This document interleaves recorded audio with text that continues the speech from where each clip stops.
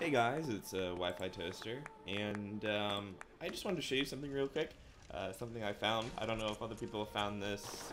This is the first time I've seen it. Um, but apparently, if you do a gesture next to the uh, the doll, she will either repeat the gesture or she'll cock her head to the side, like she doesn't know what what that is.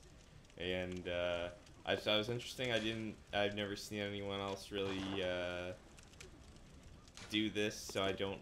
You know, I don't know if this is something that everyone knows or not. But I just found out about it, and I thought it was pretty interesting. So um, apparently, you can do a bunch of gestures, and she'll like she'll bow, and I've seen her clap, and uh, I don't know if she has any other ones. I uh, I couldn't tell, but those are the only two I've seen so far. But Anyway, just thought was something really interesting. Uh, this isn't going to be a long video or anything. Um, so, yeah. Um, apparently you can gesture to your doll and your doll will gesture back.